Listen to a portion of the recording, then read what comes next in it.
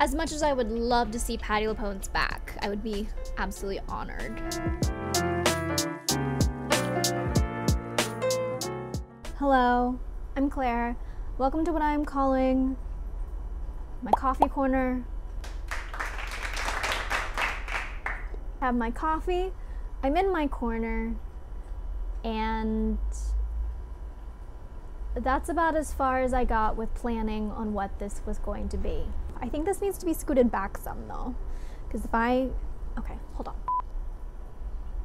Ah, I like it. It's cute, but I'm not centered. And I should be the center of attention always. That's a lie. I forgot the mic was here. Maybe I should just hold the mic. I should put it on my cup. Oh, but then you're gonna hear me. You're gonna hear me slurp. That's kind of gross. Is this cute? Are you gonna hear? You're gonna hear every little.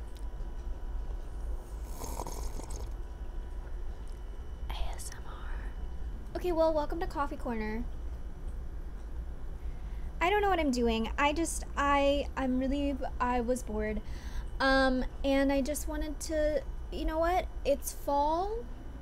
It's it's a new season, starting something new.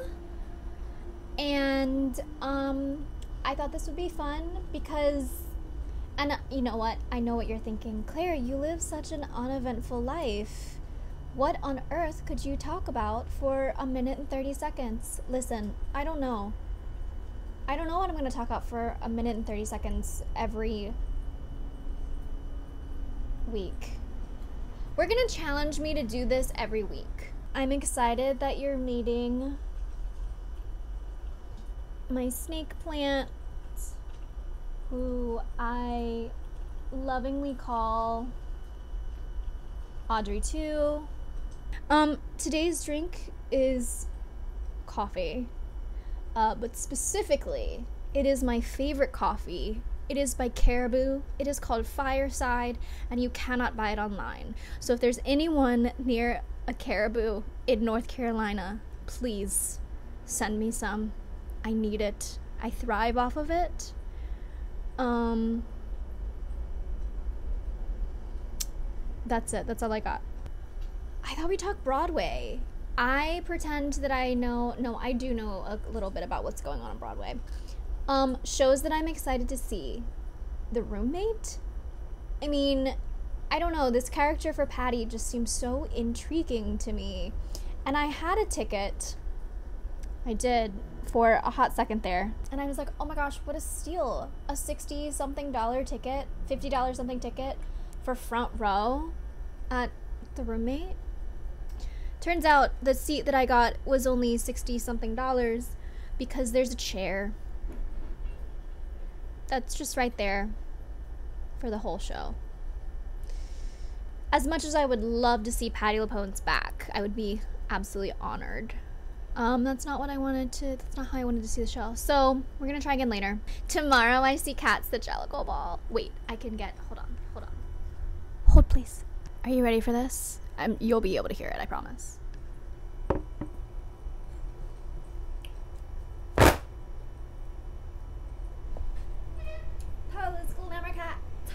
Honestly, I love that $18 fan. I mean, oh, wrong way. What a beautiful, saddest news ever. The notebook is closing. If you haven't seen the notebook, go see the notebook. Jordan and John are leaving October. No, they're leaving earlier because John starts Moulin Rouge soon. Anyway, well, no, the notebook closes in December, but they're leaving October, I believe. Their performances are phenomenal. Joy Woods is phenomenal. Like, that show is so good, and I am really not the biggest, like, I'm not a big movie to musicals fan. Oh my gosh, but Ingrid Michaelson's music is gorgeous. I mean, it's just stunning. It rains on stage. Uh, it's just, it's so good. Do you know what I'm so excited for? I know I just said that I don't like movies turned into musicals, but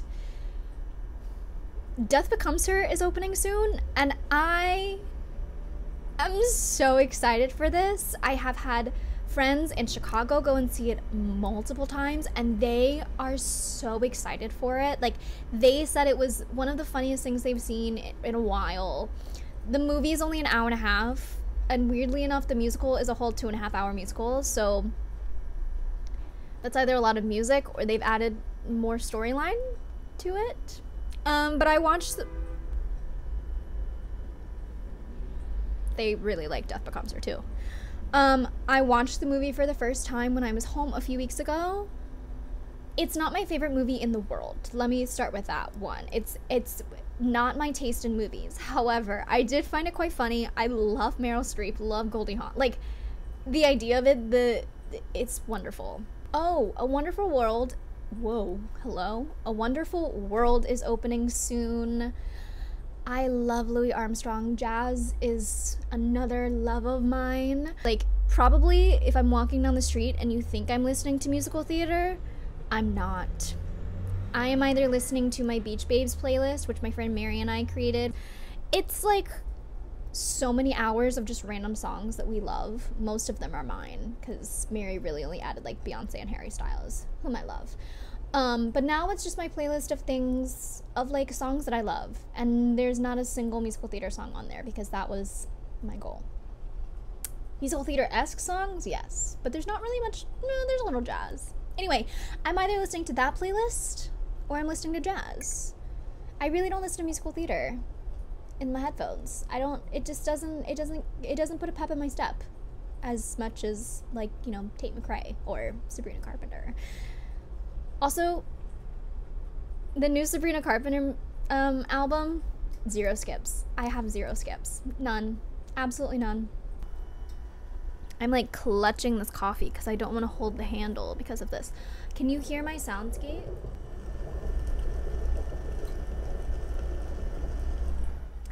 I turned on a rainy fall soundscape. I love thunderstorms. Don't know why. I used to be absolutely terrified of them. Um, and now I go to sleep with a cute little thunderstorm and fire crackle soundscape. So I will say, I woke up this morning and it said it was 62 degrees outside. Ah! How exciting! How exciting. Fall is here. We're in the burr months. You know what? We always talk about seasonal depression, right? there uh, is it still seasonal depression if I hate the summer and spring months? Like it, I'm the total opposite. I love when it's cold outside. I love crispy leaves. I love an early sunset. I mean, I don't love an early sunset. Like I do like the daylight, but like the vibe of the burr months. I don't know. My I awaken during the burr months, and it's great.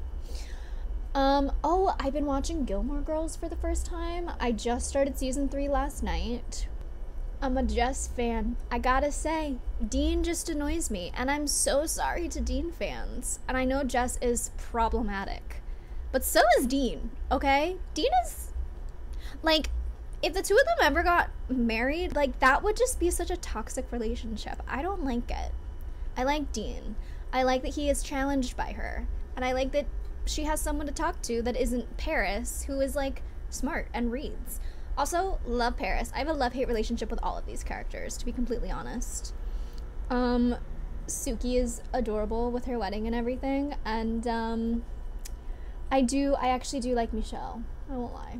He's great. He's a fun little side character. If you do watch Gilmore Girls and you are a huge fan of the Gilmore Girls, you should listen to my friend's podcast. It's called Gilmore to Say.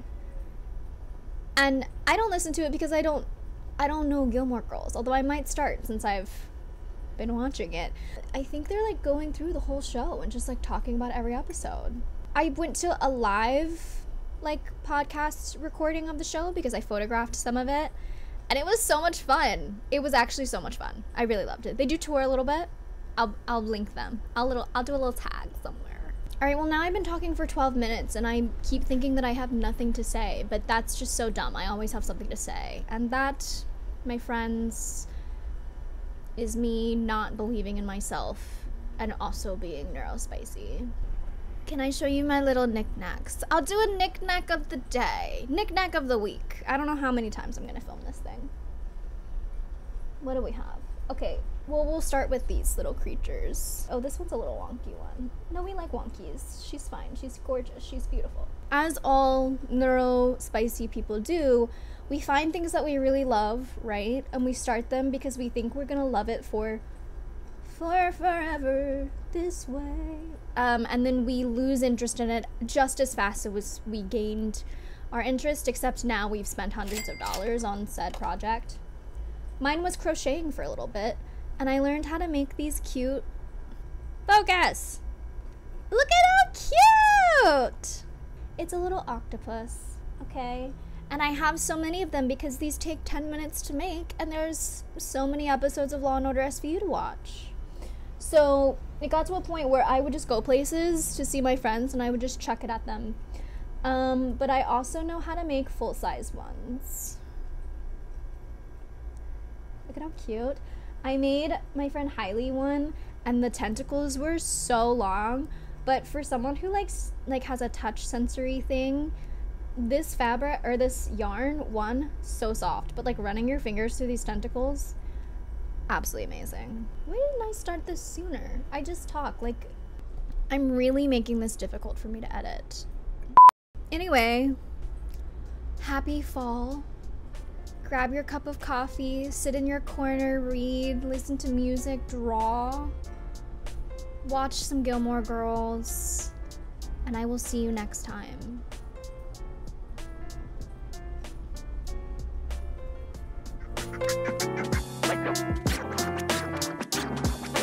Oh, and do your connections and your Wordle. Don't forget. Send it to me. How many times did it take you? Connections has gotten so hard recently. Like, so. Like, why? Why is it. Did anyone did anyone solve the one of the seven wonders of the world because well no, I think it just said wonders of the world. That was a few weeks ago, a few days ago. A lighthouse is not a wonder of the world.